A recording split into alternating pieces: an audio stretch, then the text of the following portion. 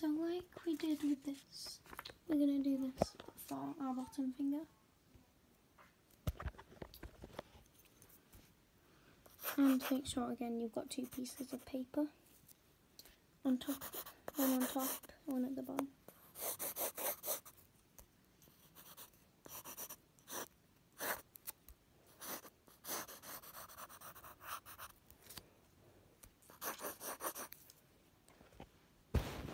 Then cut it.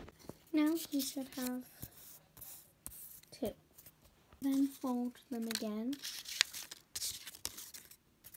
So I folded them. So they're like that. Then grab this and glue these on like we did with this one. Make sure you cut the excess um, of the strips and you make it smaller.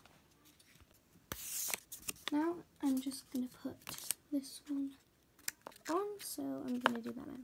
So now that we've done that, you want to grab a little piece of paper. I'm just going to cut mine now.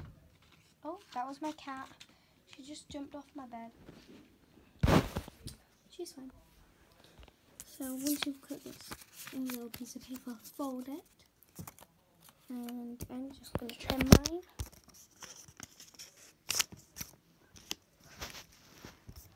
Now we're gonna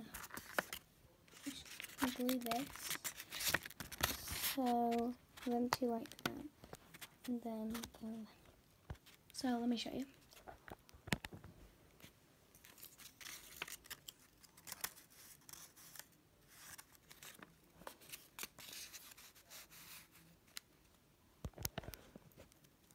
So that's gonna go one side on this and then the other side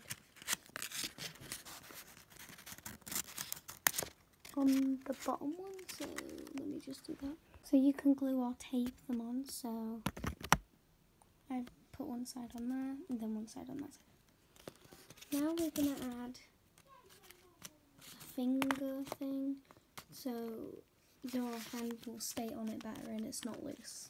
Should be able to fit four fingers or two. So now I've just added this so I can put my fingers in and they'll stay on it better but it's not dry so yeah.